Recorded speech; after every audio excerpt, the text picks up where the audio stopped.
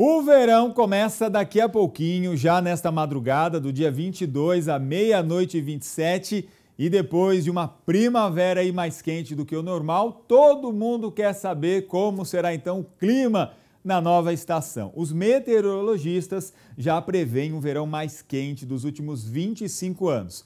Mas calma, gente, porque a chuva vai ajudar a amenizar bastante esse calorão. Quem mora na região já percebeu que o sol está nascendo mais cedo e se pondo mais tarde. São dias mais longos e noites mais curtas. E a fama do verão de muito calor já acende o alerta das pessoas. Conforme está passando os anos, parece que está ficando mais quente. Muito sol mesmo. Já está quente, né? Vai esquentar mais. Mas, segundo o climatologista, ninguém precisa se preocupar. As temperaturas devem ficar um pouco acima da média média, é possível novas ondas de calor, mas as pancadas de chuva irão ajudar. No verão, devido à umidade, as temperaturas aumentam, mas quando chega lá para as 15 horas, 16 horas, o tempo começa a nublar e vem as pancadas de chuva.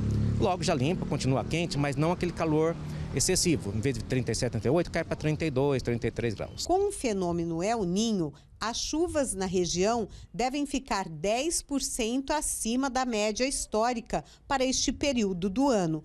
E para enfrentar este verão, haja roupas mais leves e muita sombra e água fresca. Eu estou me preparando psicologicamente para isso.